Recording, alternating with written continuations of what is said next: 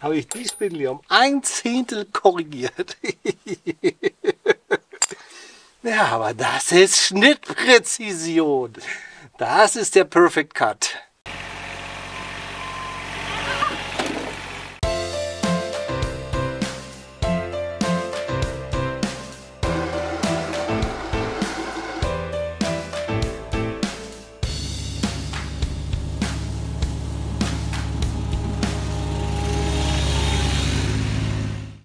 Liebe Rasenfreaks, herzlich willkommen zu einem neuen Video vom Rasenfreak Andreas Kraus. Ich will heute meinen Toro Greensmaster, meinen Profi Grünsmäher, will ich äh, ja, auf die Saison vorbereiten. Ich will ja, die Spindel mal checken, ich will die Schnitthöhe nochmal kontrollieren. Ähm, ich habe das Problem, dass von, der, von den Heckrollen der, der ja, Wurmhaufen, dieser klebrige Wurmhaufen Dreck nicht so richtig abgebürstet wird, weil ich ähm, die Spinnen mit so Distanzplatten hochgestellt habe. Jetzt will ich mal versuchen, ob ich nicht diese Bürsten noch ein bisschen rankriege an die, an die Heckrollen. Ah, ich wollte eigentlich ein bisschen höher mähen. Ich habe ja jetzt angefangen, einmal schon mit auf 18 mm zu mähen. Und das wäre natürlich gut, wenn ich meinen Greensmaster auch auf 18 einstellen könnte, um ihn gleich zu nutzen. Ich würde ihn gerne jetzt ein bisschen öfters mal einsetzen, weil ich das Ding so cool finde. Ja, mal gucken, wie die Spinnen aussehen. Das seht ihr heute. Könnt ihr mir zuschauen, wie ich hier ein bisschen rumschraube. Viel Spaß. Yeah!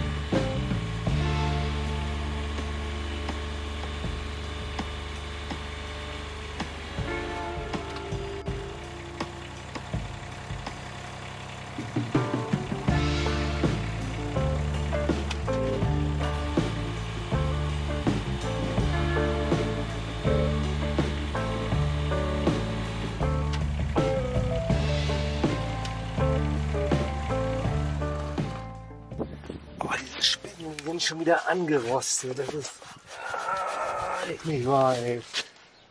Ich muss hier unbedingt diese Bürste dicht daran kriegen. Wahrscheinlich geht das nicht mehr. Ja, es ist alles durch die Distanzscheiben, die hier untergesetzt haben, um höher schneiden zu können. Wie das Problem, dass ich die Bürste nicht mehr richtig raufkriege. Jetzt muss ich den noch lösen, damit das ganze Ding dreht. So. Gucken wir mal.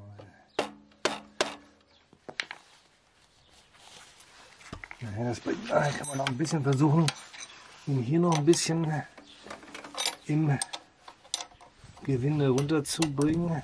Aber das wird alles nicht reichen. Ah, Mann ey. Na doch. Das ist gut. Komm.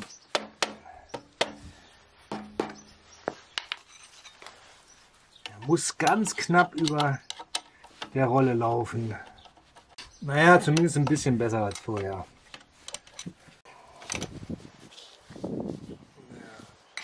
Ganz dran ist er nicht.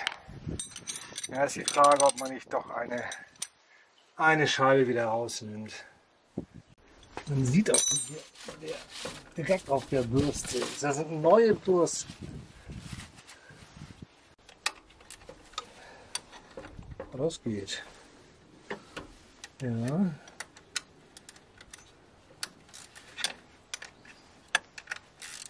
Na komm. Ja, ist rum.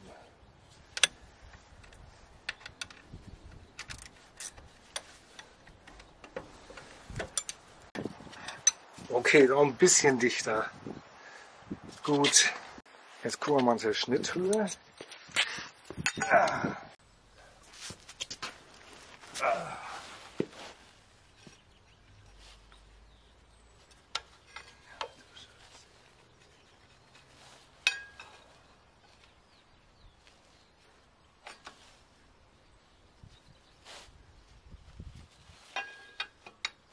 Messe ich mal. 16. 16 mm. Ja. Schauen wir mal, was wir 16 mm überhaupt hinkriegen. Ich müsste hinten noch zwei Distanzdinger äh, runter machen oder ich müsste hier vorne äh, die verlängerten Aufnahmen kaufen. Aber frag nicht nach dem Preis. ja, das geht nicht. Das geht nicht. Hinten, wenn ich hinten noch, noch eine Scheibe drunter lege, dann kann ich die, Bürste da völlig vergessen. Das ist halt ein Greensmeer und das ist kein Färbemeer. Und auf Färbehöhe mit dem Greensmeer zu mähen, ist im Grunde genommen eine bescheuerte Idee. So, ich habe jetzt die Spindeln auf 15,5 einstellen können, also Schnitthöhe 15,5 mm ungefähr. Okay, jetzt fahren wir mal runter.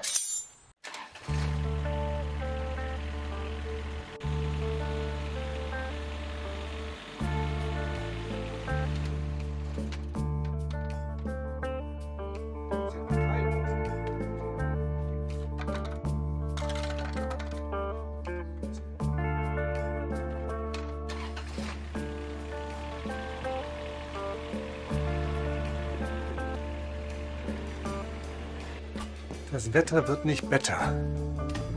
Aber ich habe die neuen Böcke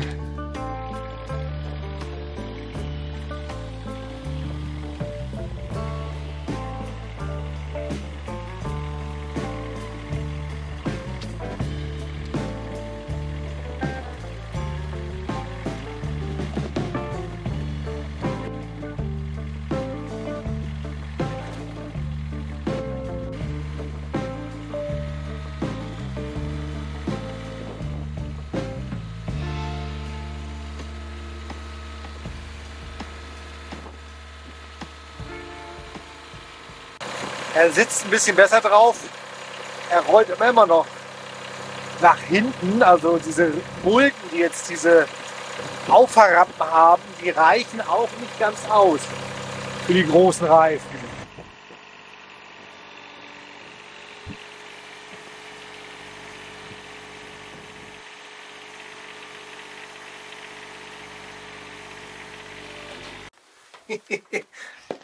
Ja, ich wollte noch mal testen, was dann passiert, wenn ich jetzt rüberfahre. Aber das ist nicht schlimm.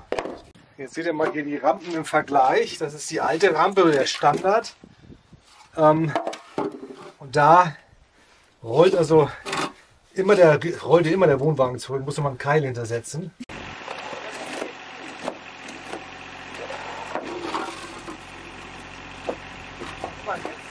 Hier stimmt es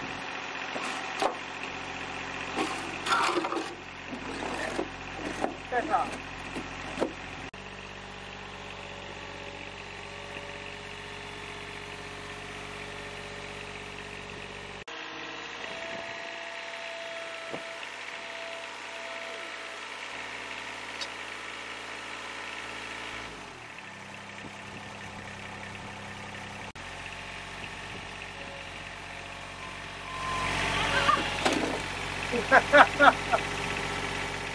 So, jetzt machen wir ein kleines Backclipping noch. Also kann man jetzt einfach anmachen. Das ist echt cool.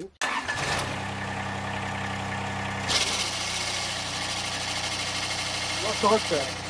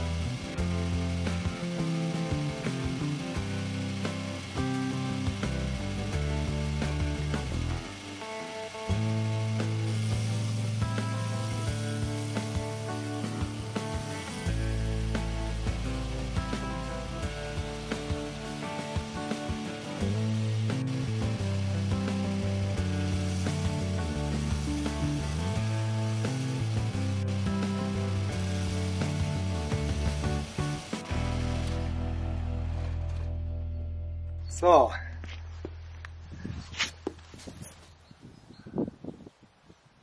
Gut. So, jetzt abspülen.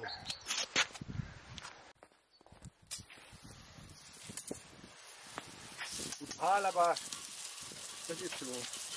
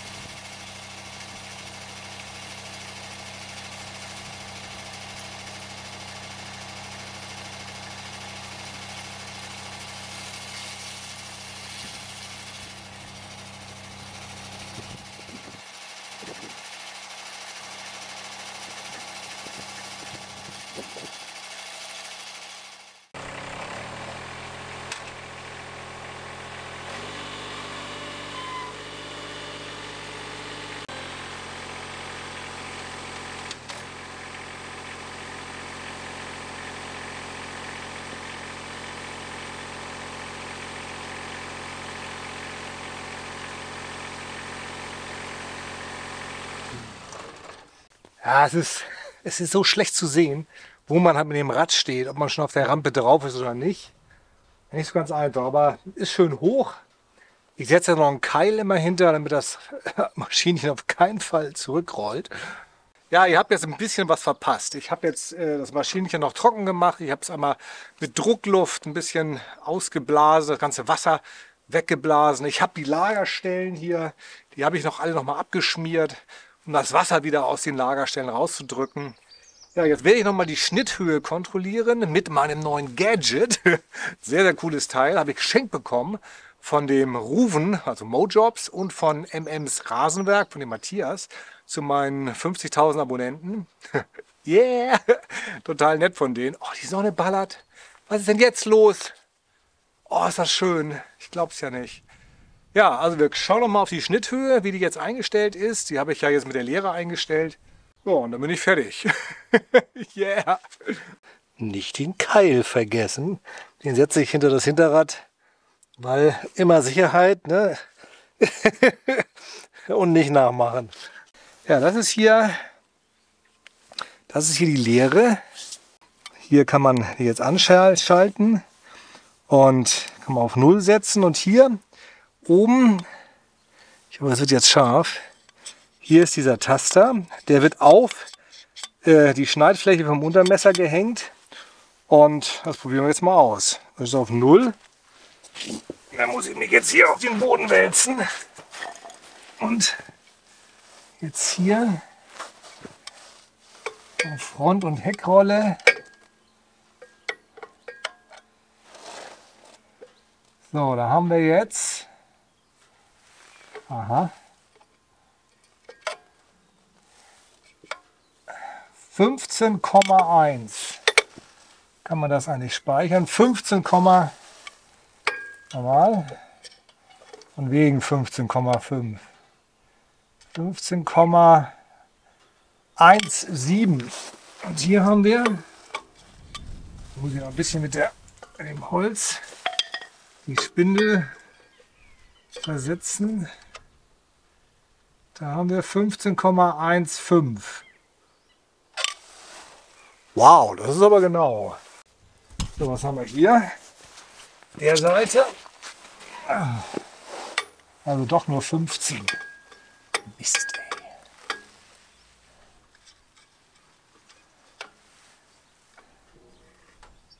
So, hier haben wir ein bisschen mehr. 15,23.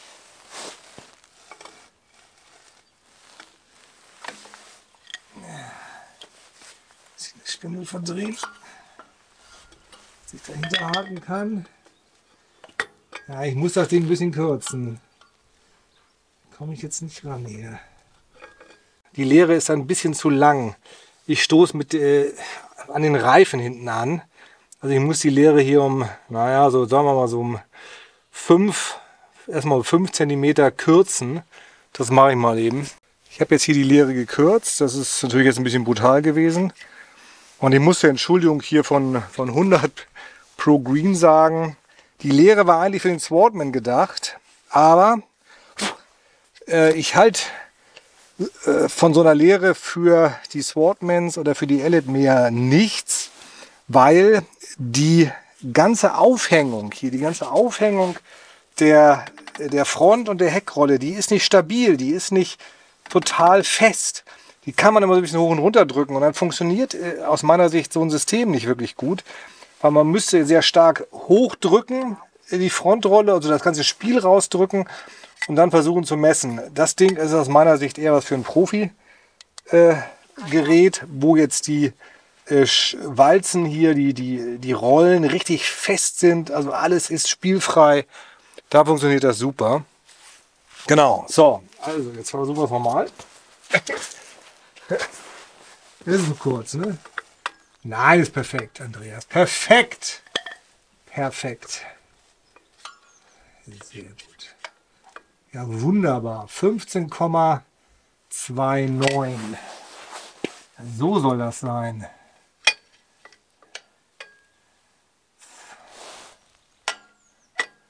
So, 15,3, 15,28. Sehr gut. 2,9, Also die Parallelität ist mit der Lehre wirklich super. Jetzt müssen wir hier nochmal nach. Hier kann man nämlich eben auch nicht richtig ran. Ah, wegen des Reifens. Immer schön Holz verwenden, so habe ich das gelernt. Wieder zu Nullen im Greenkeeper Lehrgang. Ja, hier ist der, der hier. Hier ist insgesamt, hier ist Zehntel weniger. 15,12. Das ist nicht so lustig. Ich auch gucken, dass nicht irgendwelcher Dreck hier auf der Frontrolle ist. 15,14. Ah, anderthalb Zehntel von links zu rechts. So, jetzt müssen wir noch mal hinten ran. Also da ist es jetzt wirklich schwierig messen. Aber wäre es wieder gut. Man könnte dann können wir die Messrolle drehen. Da kann er gar nicht sehen. Uah. Schraube.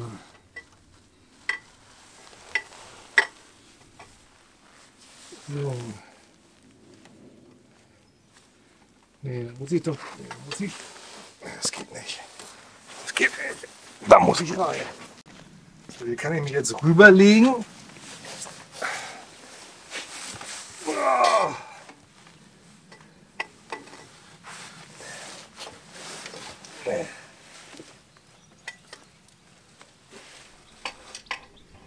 Ich bin dran.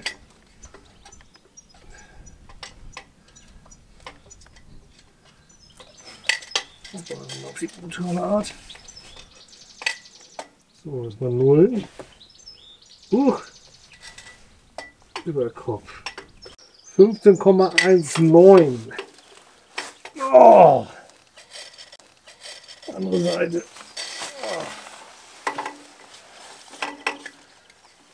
So, andere Seite.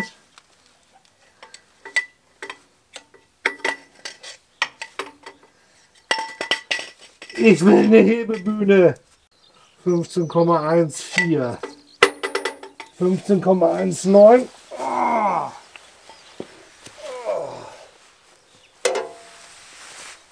Oh. Oh. 15,19, 15,14. Jetzt gehe ich nochmal hier ran. So, wieder Nullen. Ranlegen. Raufhängen. Ah, nee, so. So. Ja, das ist hier ein Zehntel zu viel.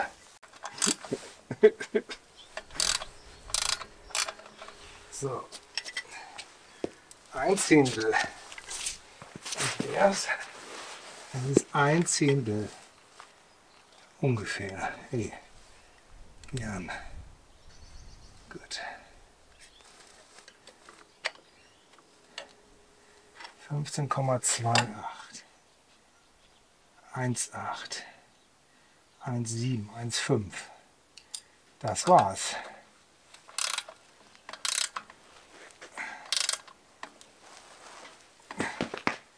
Fünfzehn Komma eins fünf.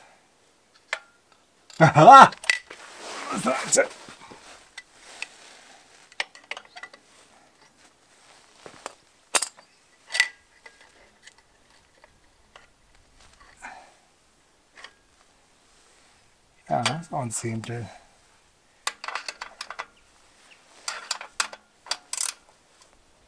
Lösen. Oh, nee, so geht's nicht. Das echt.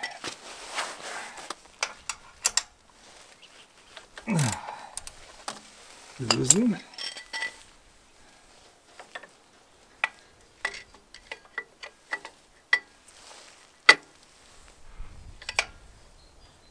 15,25. 23, 22, 19, 16, 15. Wow. Festziehen. Und schauen, ob sich dann natürlich durch das Festziehen was verändert.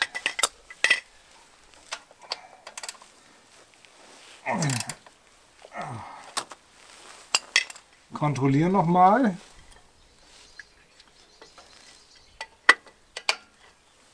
So, 15,14.